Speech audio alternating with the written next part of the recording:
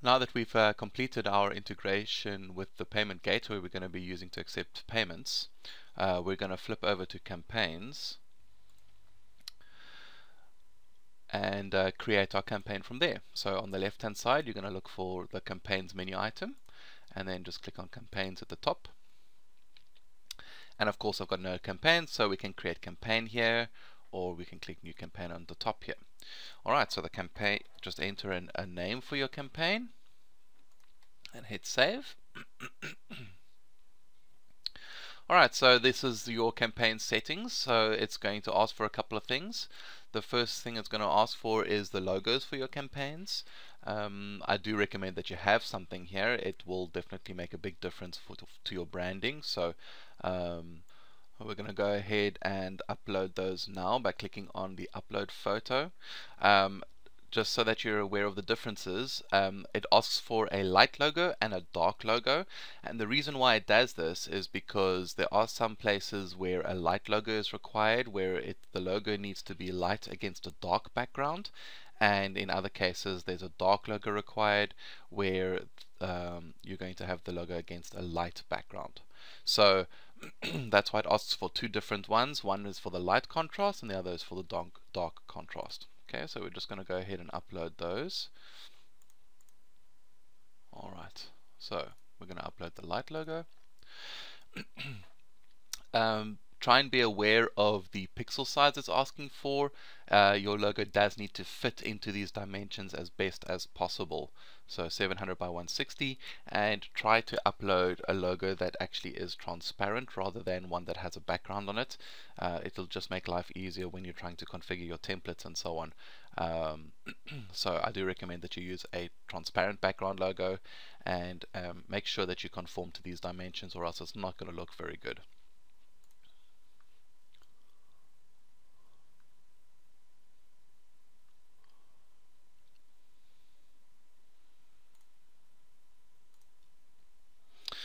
Alright, so once you've got those logos ready for upload, it's going to ask you for a default language. Uh, so what's the default language of your checkout page? Of course, in my case, it's uh, English. And we can uh, decide whether or not we actually want to show our campaign in the PayKickstart marketplace. Um, so if you do want to do that, you just need to give it a uh, choose a category for it. So arts or business education or uh, and so on. So um, we do have an internet marketing section here as well so there would be social media marketing. In this case I would uh, add it to the social media marketing campaign. Uh, but at the moment I'm actually not going to include it in the marketplace. So I'm just going to remove that from social media marketing and I'm actually going to just turn that off um, the base currency, so the base currency, um, this is, uh, bear in mind that um, this currency um, essentially determines which payment gateways you're going to be able to um, link to this campaign. So if you've built a payment gateway for US dollars and then you choose US dollars in the campaign, then those are the gateways that, that are going to show here.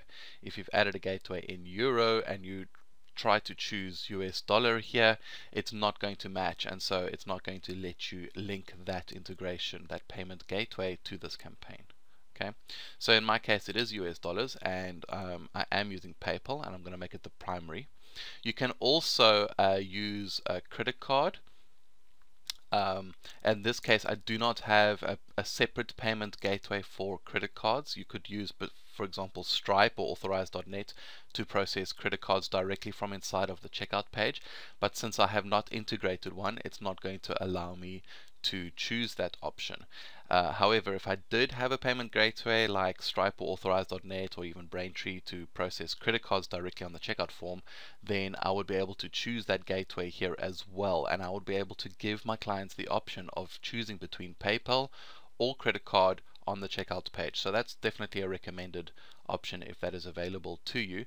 And then you can also choose which one the checkout page is going to show um, as the primary by uh, choosing this checkbox here. So if you wanted to choose a credit card as your primary uh, when the checkout page loads, you just make this, you just click here to make it primary on the checkout page.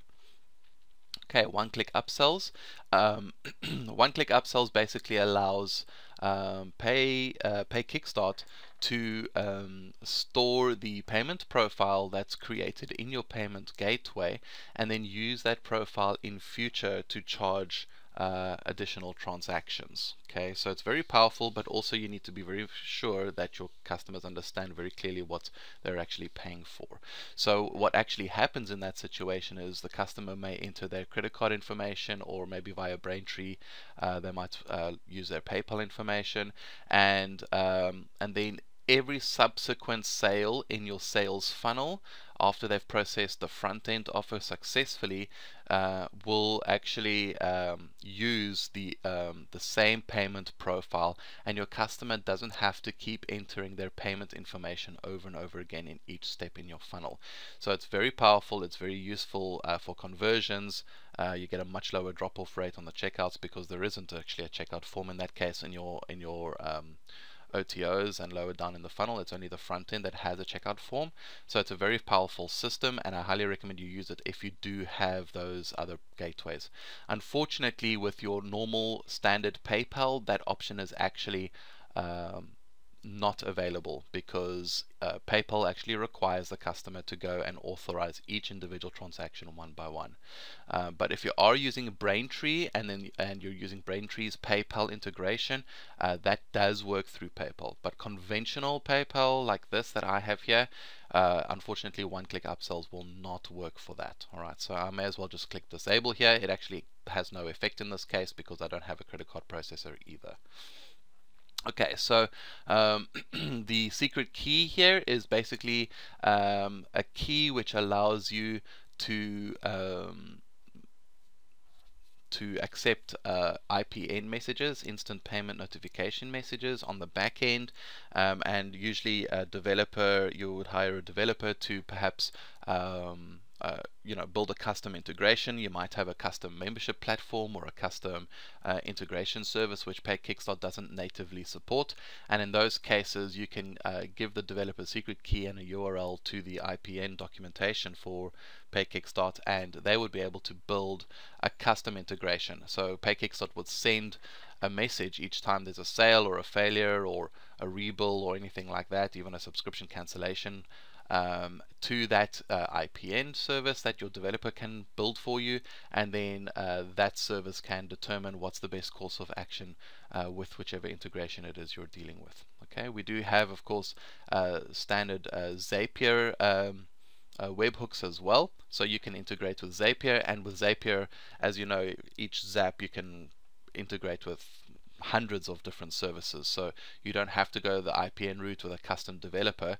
If Zapier supports the the platform that you are uh, most interested in, then you could use uh, Zapier to create a Zap for all these different events here for a new order, a failed transaction, or refunds, and so on. And um, and when you do that, uh, you put the webhook URL in here, and when you do that, um, will fire off to this URL, and Zapier will then uh, once you've created that zap, it will do whatever you've told that zap to do, uh, you know, based on each of these um, different webhooks. So uh, there's plenty of documentation on this. Uh, we'll provide you with URLs so that you can uh, go through them and you can um, uh, go in more detail on how to set that up. But in my case, I don't need any of this, so we're just going to move on um, webhook failure notifications if for whatever reason uh, you have any kind of integration issue with any of the integration services or your IPN or even Zapier or whatever uh, PayKickstart will alert you to that. So it will actually send you an email saying hey uh, we couldn't um, we couldn't uh, get a successful response from X service and it will try to give you as much information as it received from that service so that you can then go ahead and debug why that's happened. So I would recommend you leave that on. Um, and then transaction notifications. So these are basically all your emails that go out uh, for each event. Um, so when your uh, affiliates make a sale, they'll get notified um, or a refund, they'll also get notified. Vendors, it's the same thing. And then of course your buyer notifications. So these are all the different notifications that you could be sending to your buyers or that PayKickstart will automatically send. Um, will send these emails as support at paykickstart.com, but uh, when if a customer does actually reply to that email, the email will reply to your support email address over here. It's really important you need to have at least uh, the URL or the email, but uh, you know um, you do need to have at least one contact source. All right, so um, we put an email address in over here for the time being. If you have a uh, support desk that you that you manage, you can put the URL in here as well. Um, and so um, when these emails get fired off, um, when a customer does reply to those emails, um, it will th those replies will come to the email address you specify here. Um, if you don't want to use the default Pay Kickstarter notifications, you can disable them or you can turn off specific ones and you could potentially build uh, your own uh, email system uh, using your uh, IPN system here as well if you prefer. Okay, so um, you can enter a refund period here. So if um, most people will put use a 30-day refund period or a 60 or a 90-day refund period, and uh, PayKickstart wants to know what the refund period is going to be in general for this campaign, uh, because that will then um, also help it to help you manage when to pay your affiliates. So affiliates that do not um, get an instant commission, that you don't want to get an instant commission, those affiliates will be held uh, for the refund period and then um, PayKickstart will alert you when that refund period has lapsed and those commissions and you can pay those commissions. It won't do it for you automatically unless you ask it to, but it will alert you after that period has lapsed so that you're able to determine which affiliates are um, due their commissions.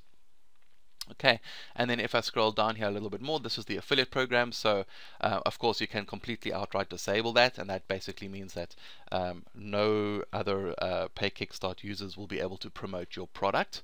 But if you do enable it, um, then um, you're able to pay uh, affiliates uh, commission when they drive traffic to your um, to your campaigns and and make sales uh, on your behalf. So they will then get a, a, commission for that, and these are the settings uh, on how to deal with that. So you'll see here if, if it's enabled uh, you get a unique request URL so this is where uh, if you create a JV page you would grab this URL and uh, attach it into your JV page and affiliates can then click on that button and they will be sent to Pay Kickstart to either sign up or log in and request to promote your product okay?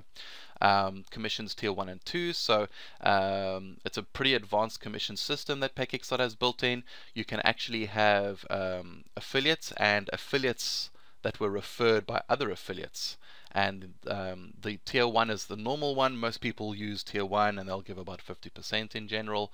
Uh, commission tier 2 is uh, uh, if you enable it basically allows um, second tier affiliates allows other affiliates to give um, new affiliates a link to sign up with.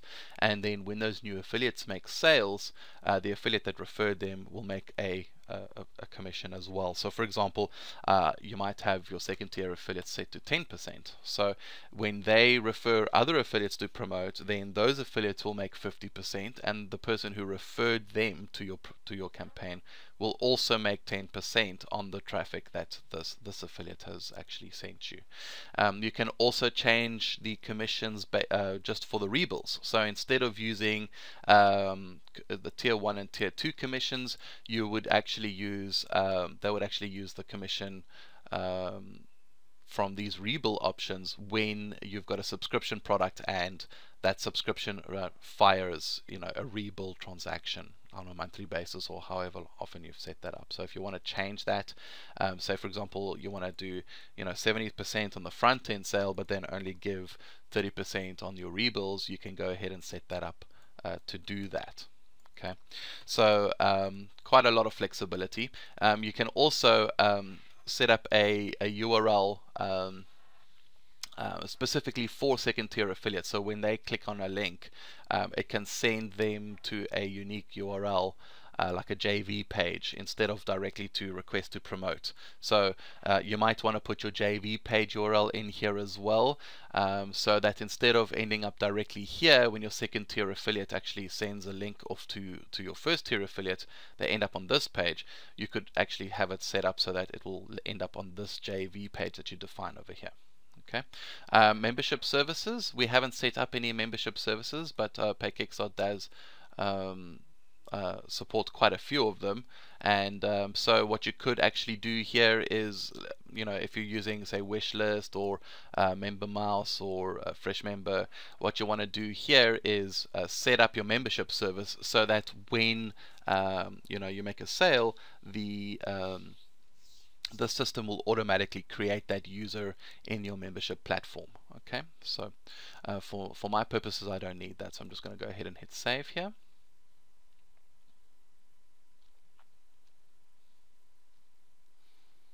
Alright, and there we go. Our logos are uploaded, um, and you know all our settings have been saved correctly. And so once you have your campaign set up, we need to start adding products to that campaign, and that we'll do in the next video.